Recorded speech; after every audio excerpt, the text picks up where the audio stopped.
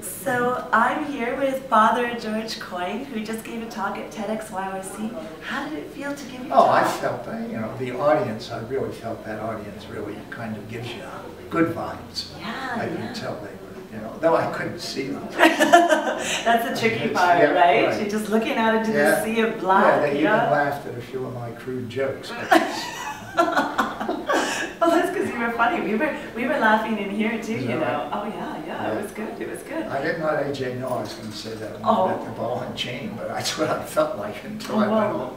You stay right here. There you go. Well, you know, it's part of the surprise of the whole event, right? Uh-huh. It, does change and Little spontaneity Exactly. yeah. That's good. It's Yeah, good. yeah. So, what was the the big idea that you wanted to share with the audience today? Why, my, was the final question, which I kind of introduced at the beginning. Why, I don't understand from my own personal career, why there is this perduring idea that there's a conflict between science and religion. And the conflict seems the more, you know, we get, the more science we get, you know, things like dark energy, dark matter in the universe, the, um, some of the religious tradition, you know, say the separation is even larger. I mean, I was once asked on this, I didn't bring it up this evening, do I, and I've had a lot of interviews with what I call atheists or agnostics, you know, and I find them very reasonable people. They're not, they're just not religious believers, but they're very reasonable in this discussion. So someone asked me, would you prefer to have a conversation with uh, atheist or agnostic or an evangelical Christian? Said, I'll take the first any day. now, how come? What what do you you find? know, what what intrigues Kate, you about that? Okay, I begin a discussion, okay, and this person says to me, okay, but God created the universe in six days and he worked so hard he had to rest on the seventh. Is, isn't that true? I said, yes, that's true. But you just told me the universe is 13.8 billion years old. Uh, and that um, God made light on the first day and that he made Adam and Eve and the human race on the fifth day in, in Genesis. How can it be that, you know, what you say about the universe, you know, each of us came to be through this long evolutionary process, they're in conflict. I said they're only in conflict if you take a story in the Bible as science. It's not, but it's true.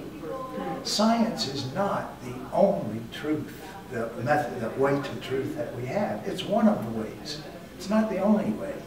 And unfortunately, there is what I call a scientism the, among scientists. The only way you really get really certain results is through science. That's not true. The Genesis story is telling a beautiful truth, namely that God made everything, okay, which does not conflict with science, but that we are special to God. So they had to, the Jewish people of old put on a stage show.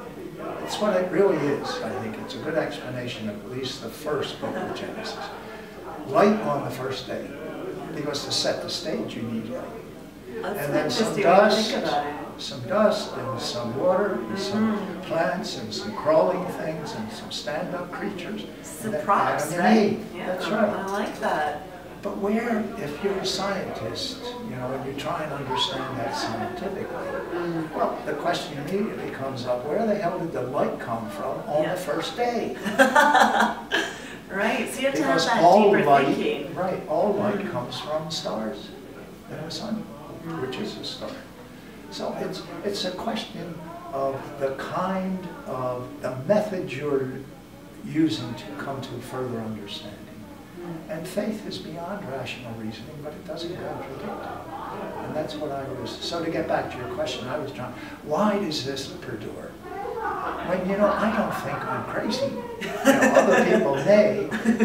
But, you know, in my own life, I find not only that are, are they not in conflict, but if you are a religious believer, your science can reinforce your faith. Mm. To me, I, that's, and I think to many, many other people. But the problem in, in, in North American society, as I see it, in South America to a great extent now too, is this continuous idea within society the scientists are saying one thing, but religious believers believe this. And never- tug of war, Never right? the two meet. Definitely. Well, I, if you'd like to hear more of Father George Coyne's talk and hear his full explanations, please stay tuned in to www.tedxyyc.com and look forward to hearing his full talk. Thank you so much for being here. Kate, it's a pleasure.